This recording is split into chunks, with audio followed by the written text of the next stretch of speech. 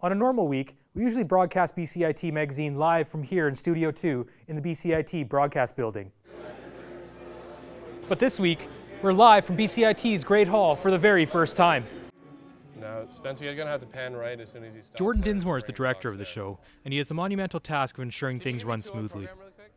My role is the director, uh, so I'm basically calling the show as it goes live. So as we have multiple camera angles and multiple stories off the server, I switch in between the two and decide what looks best and uh, how to do it. These on-location shoots are essential in preparation for jobs in industry.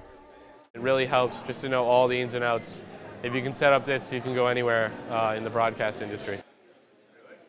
Megan Roberts, who is producing the show this week, appreciates her colleagues' efforts.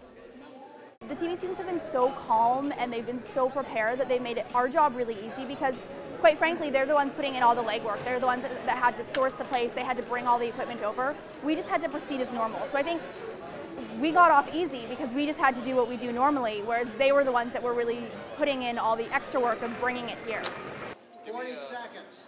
Dinsmore says the success of these on-location shoots lies in a team effort. It's really important just to work in teams, especially in our industry, because everybody has a different strength. And I find, especially uh, when you're working creatively, collaborating always works. So there's a lot of teamwork that goes into uh, making a huge production thing like this happen. Excitement is high for this first ever live location shoot in the Great Hall, and the students hope it is the first of many. Gerv Baud in Burnaby for BCIT Magazine.